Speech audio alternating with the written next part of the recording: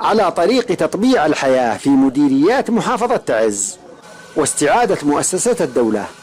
بدأ العمل رسميا بمكتب الأحوال المدنية بمديرية التعزية بعد إغلاق لثلاث سنوات.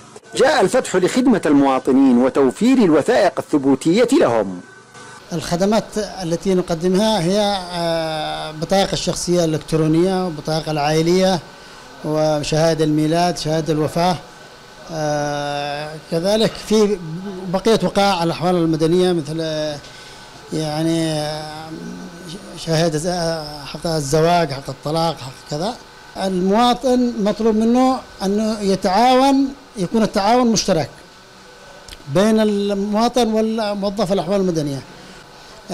مطلوب منه ألا ألا يطلب هذه الخدمة أثناء الحاجة لها إلا يكون مثلا المولود يعطى يعني شهادة الميلاد إلا يعني خلال 60 يوم من ولادته المتزوج بعد عقد الزواج بطاقة عائلية والشباب والشابات من بلغ العمر 16 سنة يجب عليها الحصول على وثيقة البطاقة الشخصية الإلكترونية. تعمل السلطة المحلية بمحافظة تعز على استعادة كل المؤسسات وترميمها وفتحها أمام المواطنين. ليمتد هذا العمل إلى المديريات التي توقف العمل بها وخاصة المكاتب الخدمية.